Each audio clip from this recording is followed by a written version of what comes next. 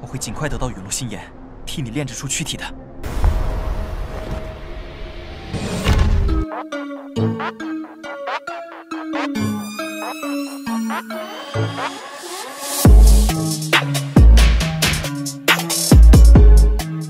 Halo guys, gimana nih kabar kalian hari ini? Udah siap kan Jut dengan perjalanan Xiaoyan? Terima kasih untuk kalian yang selalu stay di sini dan mungkin buat kalian yang mau lempar kopi buat Mimin, kalian bisa melalui link di deskripsi. Kuilah, kita akan cutkan cerita Xiaoyan.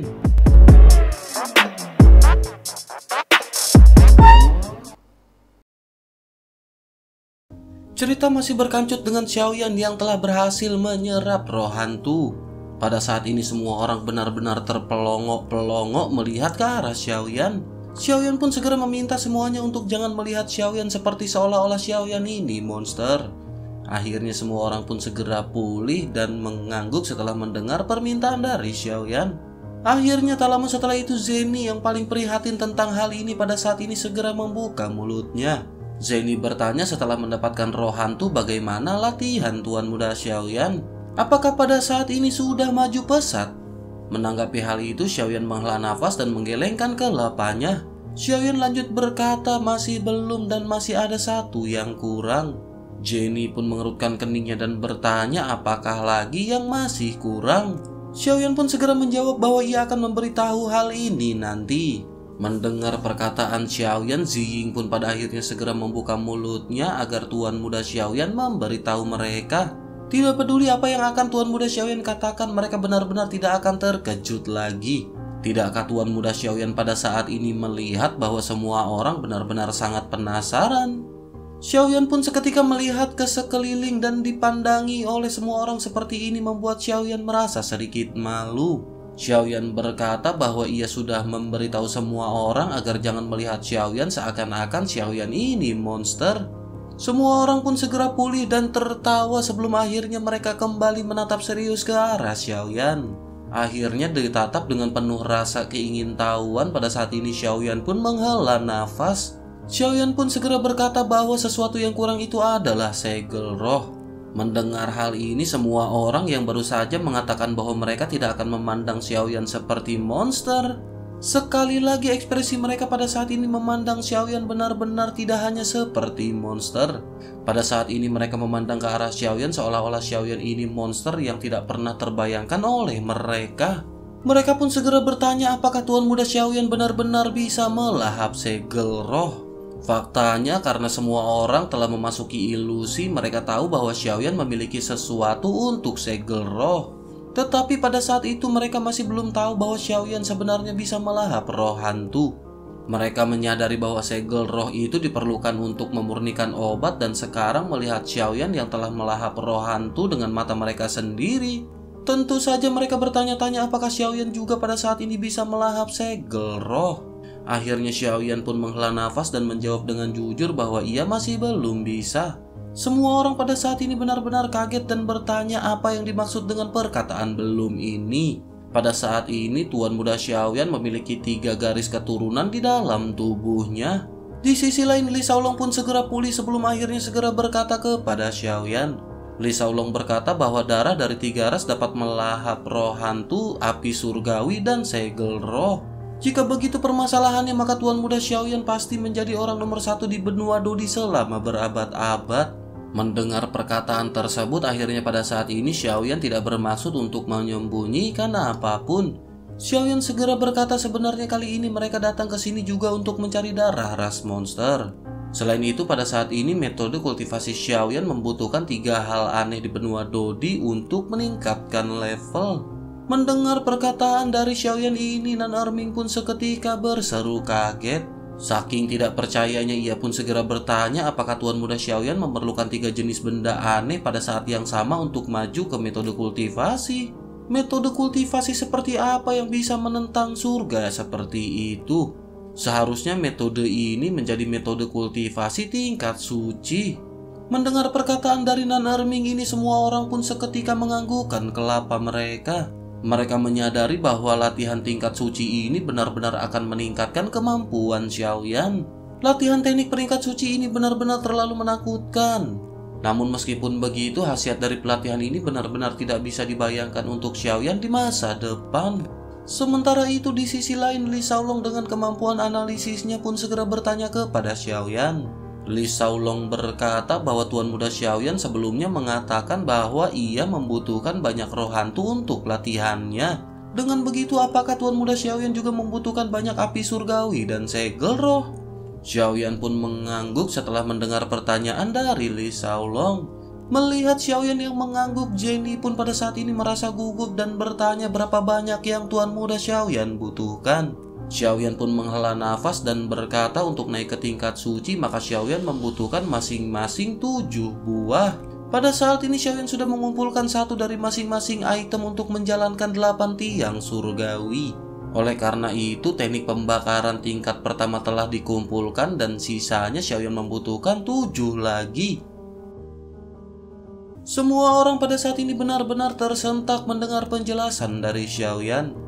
Sementara itu Li Shaolong segera pulih dari keterkejutannya dan bertanya apakah item yang diperlukan oleh Tuan Muda Xiaoyan ini harus berada di peringkat 20 teratas. Xiaoyan pun kembali mengangguk dan berkata memang seharusnya seperti itu.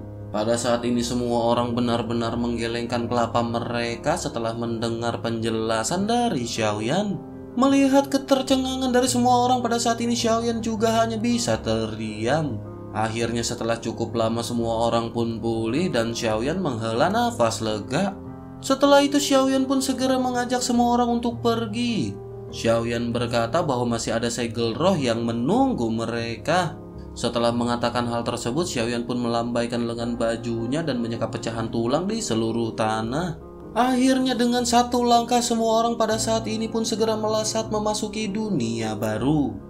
Setelah sampai semua orang pun terkejut karena apa yang mereka lihat berbeda dari kehampaan dan kesunyian sebelumnya. Pada saat ini apa yang ditampilkan di hadapan mereka benar-benar sama sekali berbeda. Tanaman hijau tanpa batas penuh vitalitas dan hamparan pohon berusia ribuan tahun menyebar di depan pandangan semua orang.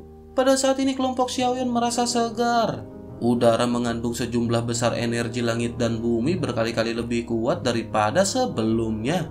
Pada saat ini semua orang menyadari jika berlatih di tempat ini pasti memiliki efek dua kali lipat. Di hutan kayu purba yang lebat ini sebuah kuil besar terlihat samar-samar tinggi, megah dan menakjubkan. Di depan kuil kuno terdapat berbagai patung makhluk humanoid yang menjaga mereka. Patung-patung ini benar-benar terlihat khusyuk dan sakral dan mereka semua adalah ras dari zaman kuno. Sekarang keberadaan mereka telah menghilang di telan sejarah yang panjang dan sulit untuk menemukan jejaknya. Semua orang pun pada akhirnya segera menghela nafas dan berjalan perlahan menuju kuil melihat lingkungan sekitar. Setelah berjalan mendekat pada saat ini semua orang bisa melihat dekorasi yang ada di sekitarnya. Pada saat ini hanya ada banyak bentuk candi yang tersebar di kuil ini. Dengan takjub dan kagum semua orang pun segera mengarahkan pandangan mereka ke gerbang kuil.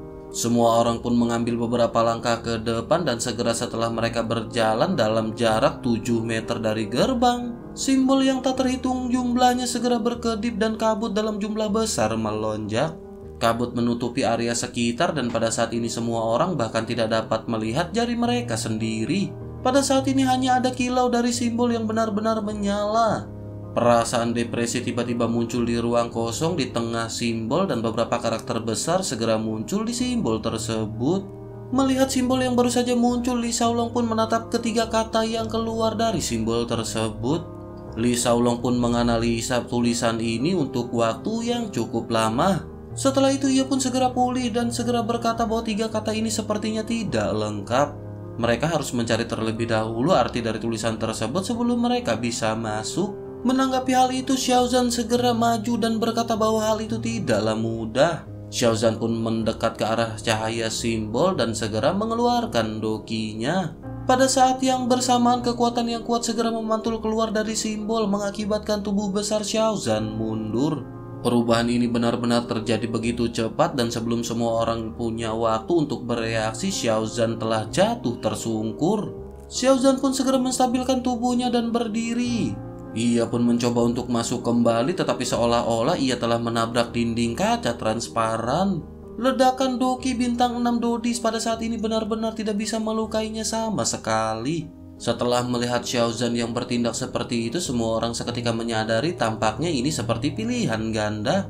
Sebelumnya Xiaozan mengeluarkan doki dan menuangkannya ke arah salah satu huruf yang ada di atas. Tampaknya pada saat ini setiap orang hanya memiliki satu kesempatan untuk memilih. Akhirnya kelompok Xiaoyan pun segera berdiskusi. Setelah mereka mencapai sebuah kesepakatan, mereka pun berani mencoba dengan hati-hati. Namun semua orang masih terlempar keluar dari lingkaran satu persatu. Pada saat ini hanya menyisakan Jenny dan Xiaoyan yang masih belum maju untuk menuangkan doki mereka. Pada saat ini Jenny berpikir sejenak dan setelah mendapatkan sebuah ide Jenny pun segera menuangkan dokinya dan menulis sebuah kata. Namun pada akhirnya Jenny pada saat ini juga terlempar oleh pantulan kekuatan cahaya dari simbol. Pada saat ini hanya tersisa Xiaoyan sendirian dan semua orang menahan nafas. Pada saat ini semua orang benar-benar menggantungkan semua harapan mereka kepada Xiaoyan. Merasakan tatapan dari semua orang ini, Xiaoyan tiba-tiba merasakan banyak tekanan di dalam hatinya. Xiaoyan menyadari tempat ini seharusnya menjadi lokasi keberadaan dari segel roh. Pada saat ini hanya ada satu kesempatan terakhir yang tersisa. Xiaoyan pun merasa pusing apa yang harus ia lakukan dan keringat segera menetes keluar dari tubuh Xiaoyan tanpa sadar. Xiaoyan pun segera menghembuskan nafas perlahan dan udara keruh segera keluar dan menghilangkan ketegangan di hatinya. Pada saat ini mata Xiaoyan pun berbinar dan perlahan membuat keputusan sebelum akhirnya Xiaoyan segera mengangkat jarinya. Akhirnya Xiaoyan mengeluarkan doki dan mengukir kata-kata Xiao ke dalam simbol. Akhirnya tanpa diduga-duga fluktuasi seperti riak segera menyebar ke seluruh kerumunan dan menembus ke dalam pintu. Tak berselang lama simbol yang padat di pintu perlahan menghilang ke udara dan gerbang segera terbuka dengan lembut. Sebuah istana kosong pada saat ini segera muncul di depan mata semua orang. Aula ini benar-benar besar dan kosong dan tampak dingin di dalam. Xiaoyan pun menyentuh dinding batu dan menemukan bahwa jenis batu ini sangat istimewa dan sangat keras. Selain itu penghalang yang seperti kaca yang menghalangi semua orang pada saat ini benar-benar telah menghilang. Ketika semua orang melangkah ke aula, langkah kaki terdengar agak tumpul di ruang yang benar-benar kosong. Kalau setelah itu semua orang pun segera sampai di sebuah dinding batu. Dinding batu ini benar-benar polos namun semua orang pada saat ini bertanya-tanya ketika merasakan sesuatu. Bersamaan dengan itu secara bertahap cahaya segera menyala dan kata-kata yang tak terhitung jumlahnya segera melayang di udara. Kata-kata ini persis sama dengan apa yang berada di luar dan itu segera tercetak di kekosongan aula. Semua orang pun segera membaca kata-kata yang tertulis di dalam tembok ini dan setelah selesai kata-kata itu berangsur-angsur menjadi ilusi. Setelah kata-kata ini benar-benar menghilang, kelompok Xiaoyan pada saat ini benar-benar dipenuhi dengan keterkejutan melihat tulisan yang intinya mengenai malapetaka kuno bencana pemusnahan dan Dodi bintang 9 yang menghilang. Kata-kata ini benar-benar mengejutkan Seoyen dan kelompoknya. Setelah beberapa saat, akhirnya pemikiran semua orang pun perlahan kembali ke kesadarannya masing-masing. Pada saat yang bersamaan dinding batu juga retak dan sosok hitam pekat segera muncul di depan semua orang. Sosok itu berangsur-angsur menjadi jelas dengan matanya yang tertutup rapat dan simbol di sekujur tubuhnya.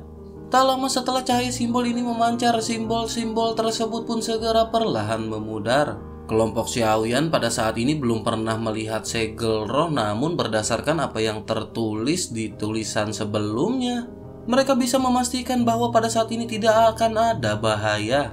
Oleh karena itu mereka pun segera berkumpul dan dengan hati-hati melihat ke arah segel roh yang berada di depan mereka. Pada saat ini segel roh yang terlihat di depan mata semua orang terlihat seperti manusia batu. Sosok tersebut ditutupi dengan baju besi batu hitam yang sangat tebal. Ziying pun mengitari segel roh mengetuk dengan jarinya dari waktu ke waktu. Ia pun segera berkata apakah ini adalah segel roh. Benar-benar tak terbayangkan bahwa itu hanyalah sebongkah batu. Menanggapi perkataan tersebut, Li Shaolong pun segera menatap ke arah Xiaoyan dengan sedikit perhatian dan bertanya bagaimana Tuan Muda Xiaoyan menelan benda ini. Pada saat ini semua orang melihat bahwa patung batu ini benar-benar lebih besar daripada Xiaoyan. Akhirnya semua orang pun seketika melihat ke arah patung sebelum akhirnya menoleh ke arah Xiaoyan. Merasakan pandangan semua orang Xiaoyan pun menoleh dan menggaruk bagian belakang kelapanya. Xiaoyan pun segera berkata bahwa Xiaoyan tidak tahu bagaimana cara menelannya. Selain itu pada saat ini Xiaoyan juga tidak memiliki darah dari ras monster. Bersamaan dengan kebingungan dari Xiaoyan dan yang lainnya, pada saat ini di sisi lain segel roh tersebut pun perlahan membuka matanya. Cahaya ilusi segera menari-nari di matanya dan tubuh besar itu perlahan terentang. Bintik-bintik tembus cahaya yang tak terhitung jumlahnya segera muncul dari baju besi batu yang tidak memiliki celah. Bintik-bintik ini tampaknya membentuk jaring cahaya pada baju besi batu melalui jaringan cahaya. Semua orang dapat melihat bahwa tidak ada tubuh di dalamnya dan hanya kabut yang mirip dengan roh hantu. Semua orang pun seketika terkejut dengan apa yang ditampilkan oleh segel roh di hadapan mereka. Segel roh itu pun segera menggantung di udara dan menatap ke arah kelompok Xiaoyan. Setelah mengamati untuk waktu yang lama, semua orang pada saat ini mengkonfirmasi bahwa segel roh di depan ini seharusnya telah dihapus dari sifat kesadarannya sendiri. Xiaoyan pun bergumam ternyata ini adalah bentuk sebenarnya dari segel roh. Sepertinya setelah pelindung batu di luarnya rusak, maka itu akan bisa ditelan dan diserap. Menanggapi gumaman Xiaoyan ini, suara Zanlao pun seketika terdengar di hati Xiaoyan dan berkata bahwa tebakan Xiaoyan memang benar. Sekarang pada akhirnya ia telah mengumpulkan tiga benda aneh yang memenuhi persyaratan tingkat lanjut. Namun sekarang Xiaoyan masih belum memiliki darah ras monster di dalam tubuhnya. Dengan begitu Xiaoyan tidak bisa melahapnya oleh karena itu singkirkan terlebih dahulu segel rohnya. Pada saat ini Xiaoyan harus benar-benar sedikit bersabar. Mendengar perkataan dari Zanlao, Xiaoyan pun pada saat ini tidak punya pilihan lain selain mengakhiri percakapannya. Xiaoyan kembali tersadar dan melihat ke arah segel roh yang berada di hadapannya. Xiaoyan pun segera menekan kegembiraan di dalam hatinya dan berkata bahwa waktu untuk melahap masih belum tiba. Oleh karena itu pada saat ini mereka harus segera mengambil roh ini terlebih dahulu. Xiaoyan pun segera melambaikan tangannya dan memasukkan segel roh ini ke dalam cincin penyimpanannya. Pada saat ini meskipun Xiaoyan telah mendapatkan segel roh namun Xiaoyan masih belum melahapnya dan Xiaoyan tidak bisa mendapatkan informasi spesifik tentang segel roh tersebut. Pada saat ini yang diketahui oleh Xiaoyan adalah bahwa itu berada di peringkat ke-12. Akhirnya setelah segel roh ini diambil pada saat ini aula pun menjadi gelap. Semuanya benar-benar sangat sunyi dan semua orang hanya berdiri diam di aula merasakan fluktuasi ruang.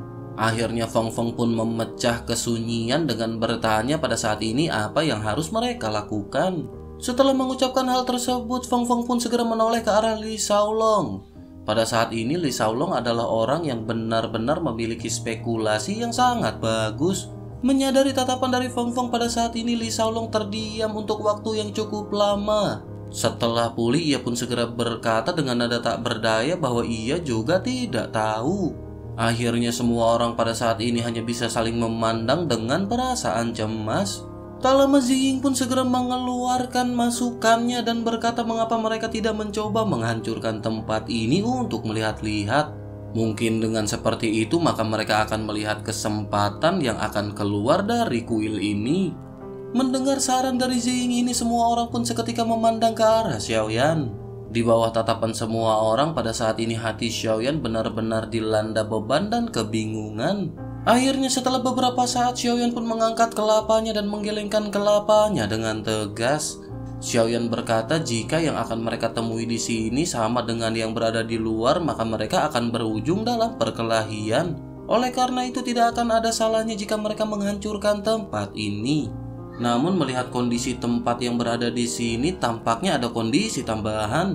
Xiaoyan khawatir jika mereka menghancurkan tempat ini maka akan memicu sebuah kemarahan. Selain itu dengan kemampuan Dodi bintang 9 maka ia akan dapat dengan mudah membunuh mereka semua. Ditambah lagi pada saat ini mereka telah menerima hadiah dari orang lain dan tidak mungkin menghancurkan tempat tinggal mereka.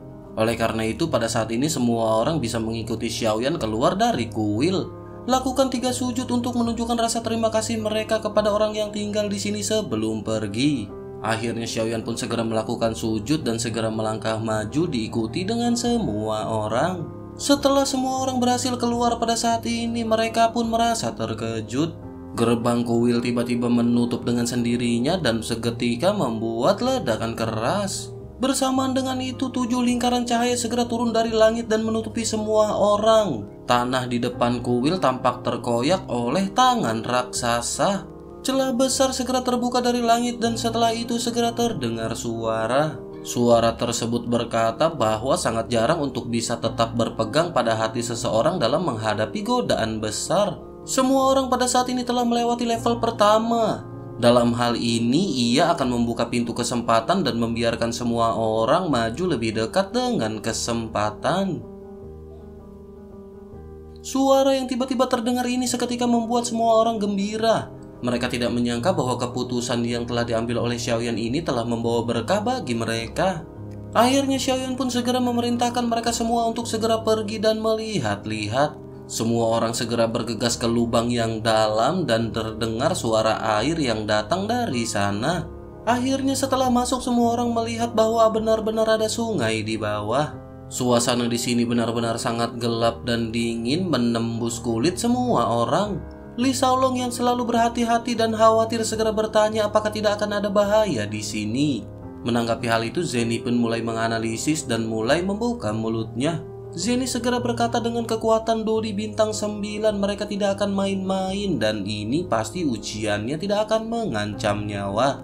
Menanggapi hal itu Xiaoyan pun menganggukkan kelapanya dan berkata bahkan jika ada bahaya apakah mereka pernah mundur semua orang pun segera mengangguk dan keberanian segera melonjak di dalam hati semua orang.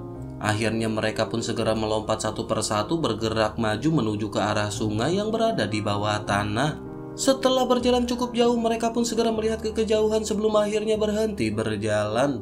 Pada saat ini mereka merasakan sebuah bahaya yang besar ketika melihat lubang hitam yang seperti corong besar yang muncul di hadapan semua orang. Sungai bawah tanah ini mengalir ke dalam lubang hitam tersebut. Semua orang pun segera melihat sekeliling hingga akhirnya Xiaozan segera menghela nafas dan bertanya apa yang harus mereka lakukan. Selain dari lubang yang seperti corong ini tidak ada jalan keluar lain lagi. Selain itu pada saat ini udara di sini tampaknya benar-benar menjadi lebih dingin. Di sisi lain Li Shaolong pada saat ini dengan hati-hati mengamati kekuatan aliran dari air yang masuk ke dalam corong. Li Shaolong segera berkata meskipun kekuatan pusaran ini besar namun ia yakin mereka bisa menahannya. Yang ia khawatirkan adalah bahwa ia juga tidak tahu tempat apa yang akan mereka temui di bawah ini. Selain itu, sepertinya hawa dingin yang bergolak di bawah ini akan jauh lebih kuat daripada di atas. Mendengar hal ini semua orang pun terdiam. Implikasi dari kata-kata Li Shaolong ini benar-benar sudah sangat jelas.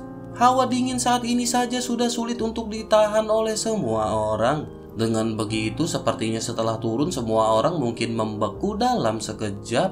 Akhirnya Xiaoyan pun segera memerintahkan semuanya untuk turun dan mencobanya. Jika mereka tidak bisa menahan rasa dinginnya, maka mereka bisa tetap tinggal.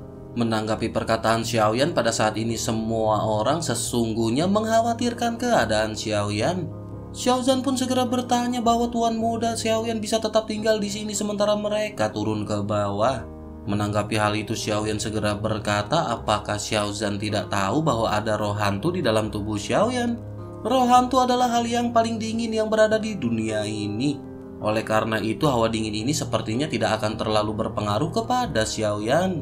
Mendengar perkataan dari Xiaoyan ini Zeni pun segera berkata bahwa ia akan turun dengan tuan muda Xiaoyan. Xiaoyan seketika terjekut mendengar permintaan dari Zeni ini. Xiaoyan merasa khawatir di bawah udara dingin ini akan terjadi hal-hal yang diinginkan. Akhirnya Xiaoyan pun segera berkata perlahan bagaimana jika seperti ini. Xiaoyan akan turun bersama Xiaozan, Li Shaolong dan Nan Erming dan Zeni dengan Ziying. Sementara itu Feng Feng akan tetap di sini untuk berjaga-jaga. Setelah kebersamaan yang lama pada saat ini Xiaoyan menyadari di antara kerumunan ini Ziying dan Feng Feng memiliki fisik yang relatif lemah. Oleh karena itu mereka sangat sulit untuk menahan dinginnya sungai yang berada di atas. Oleh karena itu Xiaoyan memutuskan agar Zeni berangkat bersama dengan Ziying. Dengan adanya Zeni maka jika terjadi keadaan darurat maka Zeni bisa menanganinya. Di sisi lain melihat keputusan dari Xiaoyan pada saat ini dengan kepintarannya Zeni segera mengerti apa yang dimaksud oleh Xiaoyan. Oleh karena itu pada saat ini Zeni pun mengangguk dan tersenyum ke arah Xiaoyan. Akhirnya semua orang pun segera melompat ke arah pusaran dan kekuatan hisap yang besar yang dibentuk oleh corong segera menarik mereka ke bawah. Kabut air yang memenuhi langit langsung menelan ke empat sosok yang baru saja turun. Di kedalaman corong ini benar-benar sangat gelap dan kelompok Xiaoyan pada saat ini berpegangan tangan. Mereka pada saat ini benar-benar berputar tajam di sungai yang deras. Setelah terjun untuk waktu yang cukup lama pada saat ini Xiaoyan pun segera mengedarkan roh hantu di dalam tubuhnya. Semua orang pun terus terjatuh dan pada saat ini benar-benar tidak ada konsep waktu di sini. Setelah lama berlalu tiba-tiba ada cahaya redup di kejauhan. Kecepatan jatuh semua orang pada saat ini secara bertahap melambat. Semakin lama mereka pun semakin mendekati cahaya hingga akhirnya mereka segera jatuh ke tanah. Merasakan padatnya tanah di bawah kaki mereka pada akhirnya semua orang pun segera berdiri. Semua orang segera menyadari bahwa tidak ada aliran air di sekitar sini. Udara di sini sangat kering dan mereka segera melihat ke atas menyadari bahwa air sungai yang gelap berhenti di lapisan tirai cahaya yang ajaib. Akhirnya Xiaoyan pun segera menoleh ke arah semuanya dan melihat bahwa semuanya tidak terluka. Xiaoyan pun segera memerintahkan semuanya untuk melanjutkan perjalanan mereka. Setelah cukup jauh melangkah pada saat ini tanah menjadi lebih lunak. Semua orang juga merasakan bahwa suhu di sini semakin dingin. Xiaozan pun segera bergumam tempat apakah ini. Semakin jauh mereka pergi maka tempat ini akan semakin dingin. Menanggapi hal tersebut Xiao yang tidak berbicara dan dengan hati-hati memperhatikan sekelilingnya. Setelah mereka berjalan ratusan meter mereka melihat tulang-tulang mati berserakan di tanah. Tulang ini benar-benar telah hancur di bawah kekuatan waktu dan tak bisa bertahan. Melihat hal ini, Li Shaolong pun segera menghela nafas dan mencabut senjatanya. Li Shaolong berkata tampaknya pertarungan sengit telah terjadi di sini. Xiaoyan pun mengangguk dan melihat ke sekeliling dan menyadari bahwa ini adalah lembah. Melihat tindakan dari Li Shaolong ini, Xiaoyan pun segera menghentikannya. Xiaoyan berkata agar Li Shaolong jangan bertindak gegabah. Pada saat yang bersamaan, Xiaoyan melihat sederet karakter yang melayang di atas batu. Karakter itu tercetak di atas kekosongan dan melihat karakter ini, Xiaoyan menyadari bahwa penulisnya adalah orang yang sama dengan orang yang menulis karakter di luar sebelumnya.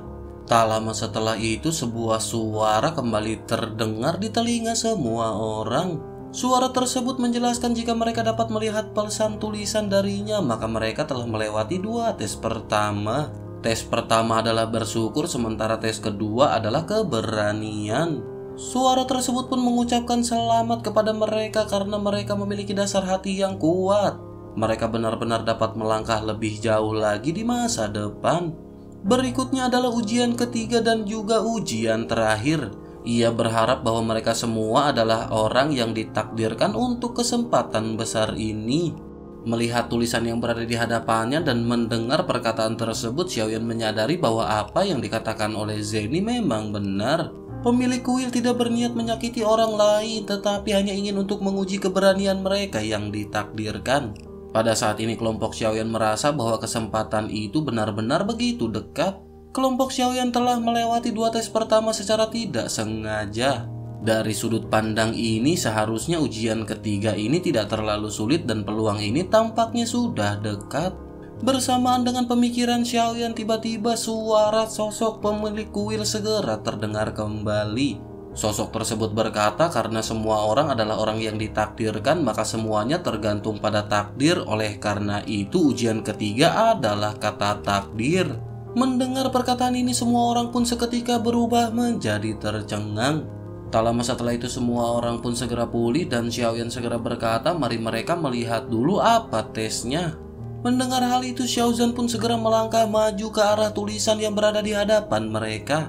Xiaozan melihat tulisan tersebut yang mengatakan agar memotong jarinya dan teteskan darah dan lelehkan ke dalam tablet batu.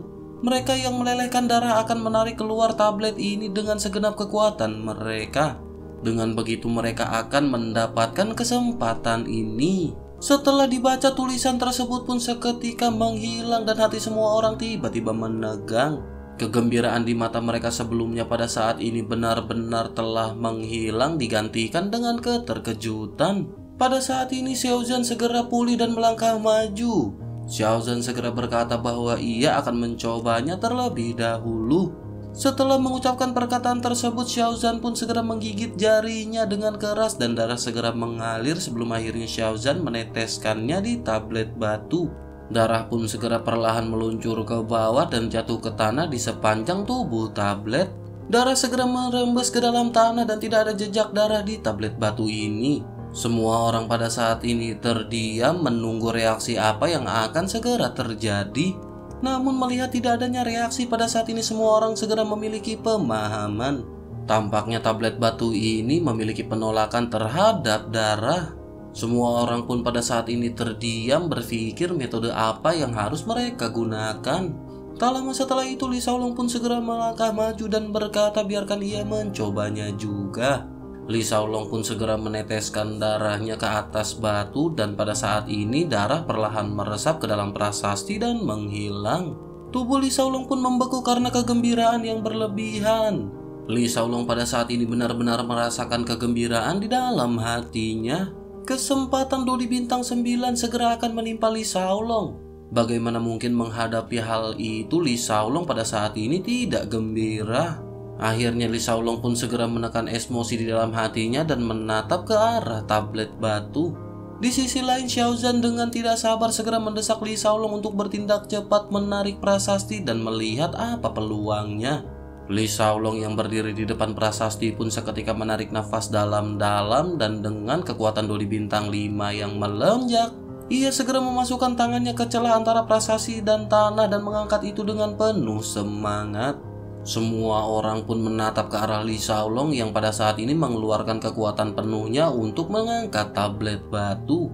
Namun dengan kekuatan penuhnya pada saat ini tablet batu itu masih tidak bergerak.